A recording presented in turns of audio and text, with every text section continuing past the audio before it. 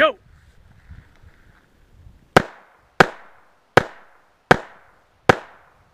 All right, not bad. Let's take a look.